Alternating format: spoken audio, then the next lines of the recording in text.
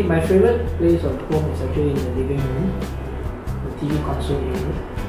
Uh, the way that it's designed is that now that I don't need to put in a wall hung TV, instead I can hide the whole TV within the cabinet itself. When I need it, I can pull it out and then I can decide what is the size of the, the, viewing image that I want. So normal TV viewing, make it smaller image. When my kids want to play their video game, I can make it larger. So that provides me with flexibility and keeps everything very neat and tidy. Uh, I think my wife has a different opinion, but she has uh, she likes it in her room. Yeah, my favorite place is of course my bedroom because I always love like uh, Hulu Park Hotel, you know. Yeah, sometimes I will staycation with my clothes and I really like the interior design uh, of that hotel.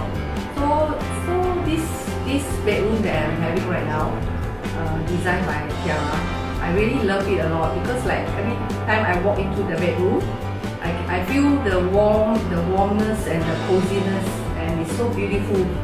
So it makes me like really happy lah. Yeah.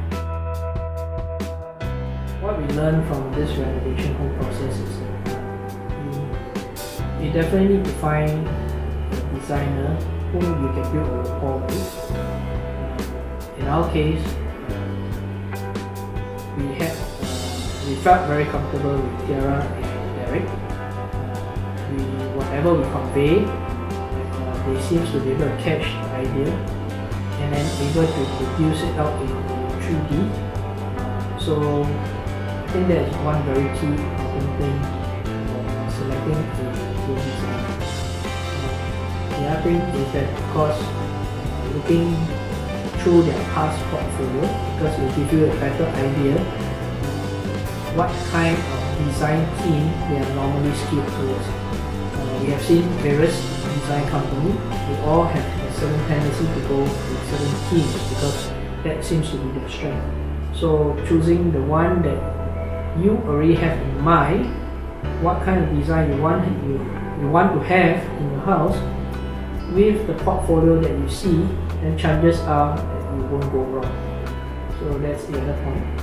Uh, the third point, of course, is that uh, the, the support that the interior designer company has behind them in terms of uh, who is going to execute the work. Uh, so far, we are very satisfied the quality, uh, that the materials, the finishing, um, they are very good.